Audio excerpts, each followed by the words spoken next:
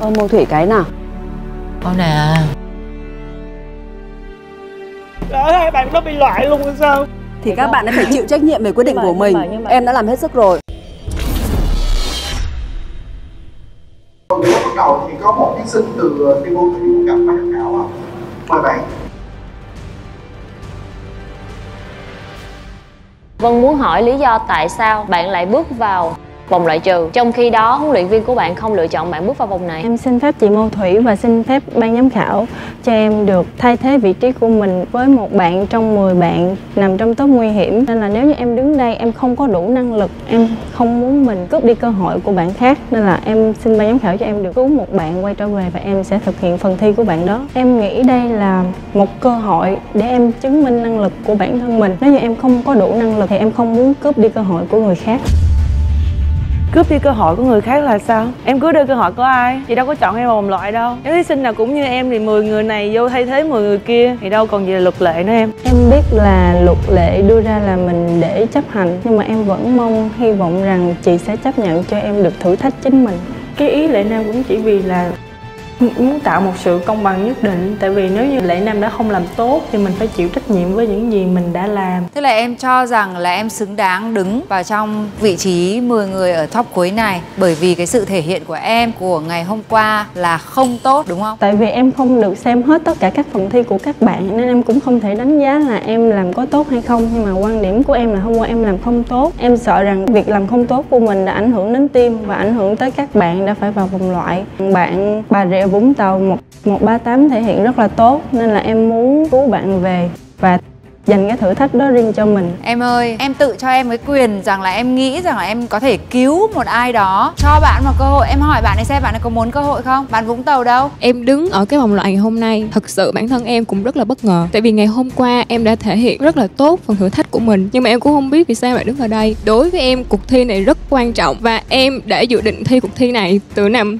2020 chị Nam Anh muốn thay thế vị trí của mình, để cho mình được vòng an toàn mình cảm thấy là xúc động không nghĩ là bản thân của mình lại có một sự may mắn như thế và ngày hôm nay em thực sự cảm ơn chị Nam Anh rất là nhiều Em đến với cuộc thi này là em đã quyết tâm học tập thật là giỏi để đạt được học bổng loại giỏi của trường và dùng hết số tiền đó vào cuộc thi này. Nên em rất là tâm huyết và khi mà đến với cuộc thi, mỗi ngày em đã trau dồi và luôn mang trong mình một cái năng lượng tích cực, một cái sự quyết tâm khi đến với cuộc thi này được chị Nam Anh trao cơ hội. Em rất là trân trọng vào cái điều đó và em sẽ cố gắng thực hiện thật là tốt những cái phần thử thách sau này để không phải khiến cho bất cứ ban giám khảo hay là chị Nam Anh phải thất vọng về cái điều này. Tức là em nghĩ rằng là màn thể hiện của em xứng đáng và tốt hơn màn thể hiện của Nam Anh. Tại vì Nam Anh không phải là có thể là không phải là người làm tệ nhất nhưng mà cũng có thể không phải là người làm tốt nhất. Dạ anh em nghĩ như thế này nè Nam Anh không có quyền được lựa chọn đứng vào vòng loại hay cứu ai cả Thì nếu như Nam Anh cảm thấy Nam Anh chưa thực sự làm tốt ngày hôm qua Thì Nam Anh có quyền đứng vào đây luôn cùng với top 10 Đúng rồi. Hoặc là em đứng vào đây luôn hoặc là em có thể em em đi về chứ em em không có quyền để cứu ai hết. Chúng ta là người dám chơi thì nên dám chịu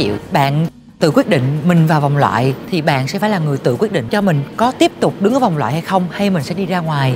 Đưa 11 thí sinh của em vào đó em em không có nợ? Thì đó là thí sinh của em. Thì em biết Ta đang tốn rất nhiều thời gian của những người đang ngồi ở đây vì những cái nội bộ lục đục của team của em. Đây không phải là vấn đề của ban giám khảo, không phải vấn đề của ban tổ chức. Cái tình huống này chị cảm thấy đang là rất tốn thời gian của mọi người. Tại vì chị cảm nhận được sự can đảm của em Cái sự nhìn nhận về bản thân mình trong cái thử thách vừa qua Chị chọn Thanh Phương vào đây là một cái chiến thuật của chị Thế thì mâu thủy chiến thuật của em thất bại hoàn toàn. Chị xin lỗi em. Em đưa cả những bạn mà em cho là giỏi vào trong vòng loại ở đây em không thể nào biết những người giám khảo này sẽ chấm như thế nào. Em chấp nhận sự giúp đỡ của bạn cũng là một cái sự thiếu tự tin của bản thân em. Đây là quan điểm của chị. Đúng như Thủy nói là chị đánh giá rất là cao cái sự dũng cảm của em Cũng như là sự nhìn nhận thấu đáo của em Nhưng mà chúng ta cũng phải nên tôn trọng quyết định của mentor của mình Cũng như là tôn trọng tất cả các luật lệ của cuộc thi Hôm qua chị về chị suy nghĩ rất là nhiều Chị suy nghĩ là không biết chị có làm sai không Tại vì chọn Thanh Phương vào nhưng mà em cũng phải biết rằng á, là cái cuộc thi này á, nó không chỉ là đánh giá một cái vòng thử thách mình xuất sắc thì mình sẽ được ở lại. Nó đánh giá một cái phần tổng thể hơn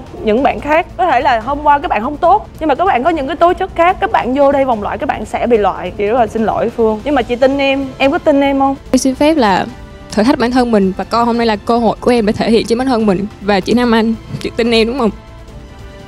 Cố gắng lên em cảm ơn chị rất là nhiều vì ngày hôm nay đã đến đây vì em. Nhưng mà em muốn thử thách bản thân mình, một cơ hội của mình. Và em không muốn đánh mất lòng tin của chị Mộ Thủy cũng như là các ban giám khảo yêu thương em. Em biết năng các ở đâu cũng nhờ chị và khiến cho em cảm thấy rằng bản thân mình phải cố gắng nhiều hơn nữa. Và chính cái sự dũng cảm của chị chính là động lực cho em cho phép em xin được có ý kiến cuối cùng. Em nghĩ rằng chỉ có đứa trẻ mới sinh ra mới không mắc phải những sai sót và em lần đầu tiên em tham dự hoa hậu hoàng vũ. Trước khi bước vào đây em cũng có hỏi ý kiến của chương trình tại vì em sợ là em sẽ không có tôn trọng luật lệ. Thật sự muốn chinh phục bản thân mình để em tự tin hơn em có thể bản lĩnh hơn. Khuyên nam anh là em nên quay trở ra khỏi sân khấu này để quay trở lại phòng với các bạn an toàn còn lại. Em đừng vì những cái cảm xúc nhất thời của mình mà đánh mất đi cơ hội của em. Chị nghĩ em là can đảm đứng ở đây nhưng mà em không biết là chị bảo vệ tất cả các em Mơ Thủy ơi, mọi người ở đây chờ Dạ, rất là lâu ok. Nhẽ ra những câu chuyện giải bày này các em có thể nói đằng sau hậu trường Bây giờ chị chỉ muốn nghe từ em, em quyết định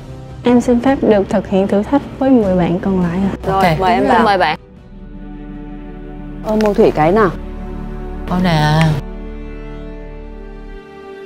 Lỡ hai bạn nó bị loại luôn hay sao Thì các bạn ấy phải chịu trách nhiệm về quyết định mà- của mình. nhưng mà- nhưng mà- Em đã làm hết sức rồi, ok? nhưng mà chị tin rồi với bạn với bản lĩnh của những bạn này sao, không sao. Em đã làm hết sức. ừ Nhá, các bạn ấy cần phải dũng cảm.